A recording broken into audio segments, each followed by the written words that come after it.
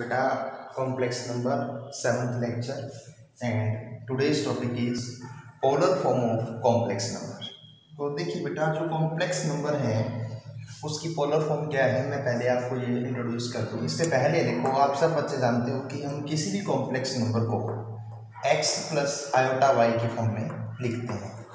बेटा, ये किसी कॉम्प्लेक्स नंबर की स्टैंडर्ड फॉर्म होती है, या आप इसे कह सकते हैं कार्टेशियन फॉर्म क्योंकि एक्चुअली कार्टेशियन कोऑर्डिनेट्स की फॉर्म में है so whenever we write z is equal to x plus iota y ऐसा जो एक्सप्रेशन होता है, वो एक कॉम्प्लेक्स नंबर का बेटा कार्टेशियन फॉर्म कहलाता है।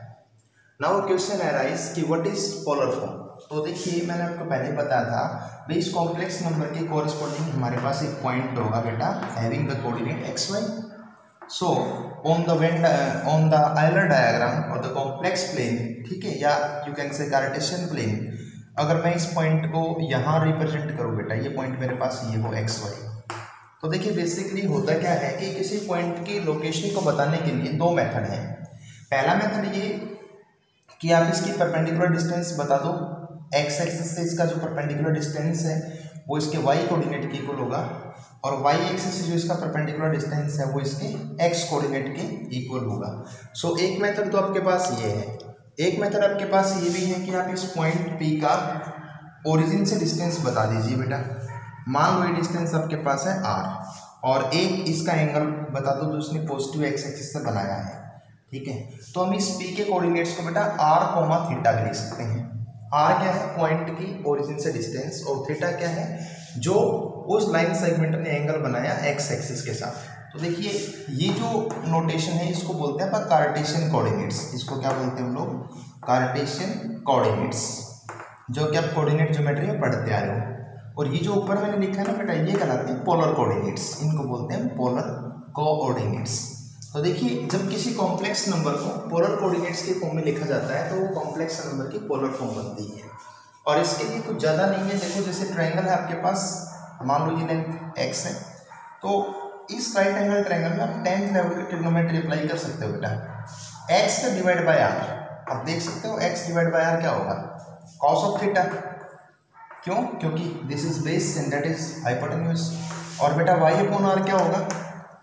That is sin theta so, our x is r cos theta and y is r sin theta that means अगर मैं x और y की वैल्यू सब्सटीट्यूट कर दूँ गिवन कॉम्प्लेक्स नंबर में। Then I will get a complex number like this r cos theta plus iota r sin theta आप देख सकते हैं बेटा, इस कॉम्प्लेक्स नंबर में r कॉमन ले सकते हो आप राइट हैंड साइड में और अंदर रह जाएगा आपके पास cos theta plus iota sin theta तो देखिए बेसिकली ये जो चीज़ है, जब कोई कॉम्प्लेक्स नंबर इस फॉर्म में लिखा जाएगा r into cos theta plus iota sine theta तो ये उसकी पोलर फॉर्म कहलाती है, ठीक है? इस फॉर्म में जब आपका कॉम्प्लेक्स नंबर होगा तो ये क्या कहलाएगा?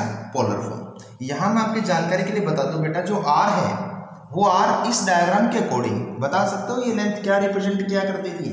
ये लेंथ रिप्रेजेंट करती थी बेटा मॉडुलस ऑफ़ कॉम्प्लेक्स नंबर तो आर जो है वो यहाँ पे एक्चुअली किसके बराबर है? मोडो जेड के. और जो थीटा है, बता सकते हो थीटा किसके इक्वल है? आर्गुमेंट या एम्पलीट्यूड ऑफ़ जेड ये दोनों बातें हम चर्चा कर चुके हैं पहले। तो देखिए, जिस बच्चे को कॉम्प्लेक्स नंबर का मॉडुलस और आर्गुमेंट निकालना आ चुका है, वो बच्चा बेटा इजीली कॉम्प्लेक्स नंबर की पोलर फॉर्म निकाल सकता है, ठीक है? तो मैं इसको रिराइट कर दूँ z is equal to modulus of z into cos of theta plus iota sine theta ये आपके पास बेटा एक स्ट्रक्चर है फॉर्मूला है, कुछ भी कहिए। ये नोटेशन है पोलर फॉर्म में लिखने के लिए। So in order to write any complex number in the polar form we need only two things one is modulus of any complex number that is very easy to calculate and the another one is argument of z और amplitude of z जो कि theta का role play करेगा, जो कि हम अपने lecture number six में डिटेल में डिस्कस कर चुके हैं बेटा। यहाँ मैं जिस आर्गुमेंट की बात कर रहा हूँ that is actually principal value of the argument ठीक है? अब मैं आपको एक एग्जांपल देके ये क्वेश्चन जो है एक्सप्लेन करता हूँ। देखिएगा। मान लो आपके पास इस प्रकार दे दिया जाए जेड इज़ इक्वल टू और आपको बोल दिया जाए कि minus four plus four root three iota तो फ़र्स्ट ऑफ़ ऑल तो आप देख सकते हैं बेटा this is the Cartesian form of the complex number ये कॉम्प्लेक्स नंबर की कार्टेशियन फॉर्म है। मेरे को कहा कि इसको पोलर फॉर्म में कन्वर्ट कीजिए। ठीक है जी। I have to convert this form into polar form and in order to change in the polar form I need only two things so one is modulus of z you know it very well under the root बेटा, इसका square करेंगे 16 हो जाएगा plus इसका square करेंगे 48 हो जाएगा। और ये आपके पास under root sixty four that is equal to eight unit तो मॉड ऑफ़ जेड तो आपके पास एट है। अब रहती बात किसकी? थीटा निकालने की। तो देखिए, इसकी जो कोरस्पोंडिंग पॉइंट है, वो क्या होगा बेटा? Minus four four root three यानी कि साइन देखिए negative and positive that means belongs to second quadrant यानी कि कॉम्प्लेक्स नंबर बेटा आपका किसको बिलोंग करता है? सेकंड क्वाड्रेंट को। टेंजेंट अल्फ़ा का मैंने आपको क्या रोल बताया? टेंजेंट अल्फ़ा निकलता है मॉडुलस में।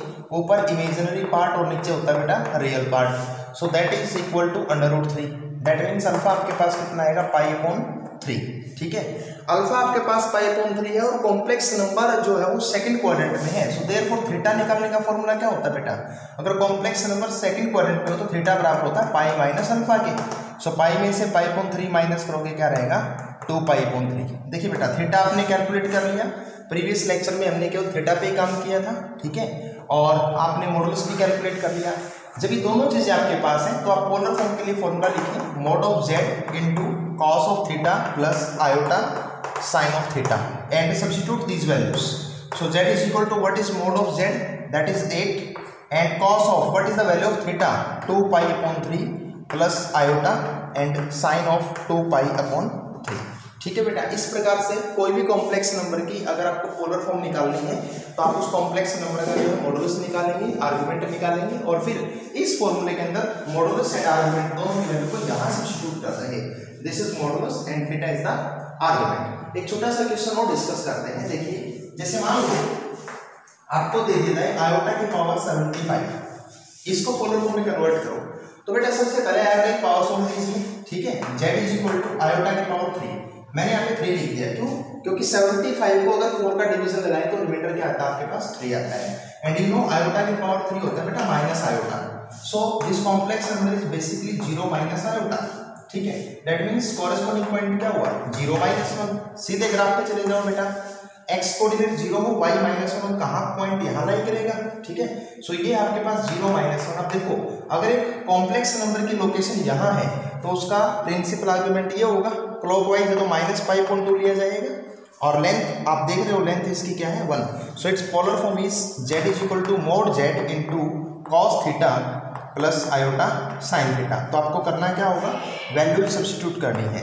यहाँ पे वन वन वन है cos of theta so cos of minus five point two plus iota sine of minus five point two in this way आप ग्राफिकल भी इसको एक्सप्लेन कर सकते हैं और थोड़े से जो कॉम्प्लेक्स मेथड्स हैं उनसे बच के सीधा बेटा मॉडल से निकाल के भी सोल्व कर सकते हैं। हाँ, बेटा, एक बात ध्यान रखनी है आपको throughout the lecture whenever you are going to solve any problem related to complex number first of all make that complex number in the form of a plus iota b जब तक आपका कॉम्प्लेक्स नंबर इस simplest form में नहीं आएगा, तब तक आप उसे सिंप्लीफाई नहीं कर सकते, ठीक है? तो जिनमें दो या दो से ज़्यादा कॉम्प्लेक्स नंबर दे रखे हों, उसमें सबसे पहले कैलकुलेशन करते हुए आपको z a plus iota b simplest form में बेटा लिखना होगा।